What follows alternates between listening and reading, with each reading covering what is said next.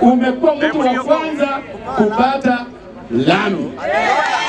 Hapo hapo Mayakalo, kwa hii kitendo ya huyu msichana, mkupe na yeye, mkufe na yeye. Yani Rambi mzima, Kakamega mzima, hizi sub county zote, ya kwanza kupata lami in 2024 this one. Na nimalize kwa kusema gavana akifanya na mimi nitafanya hapa. Mimi na gavana tumeshikana, we are working together, hatuna division. Yeah, I support my governor 100%. Nimejenga shule hapa, yeye yeah, apitishe lami. We are working for the same people.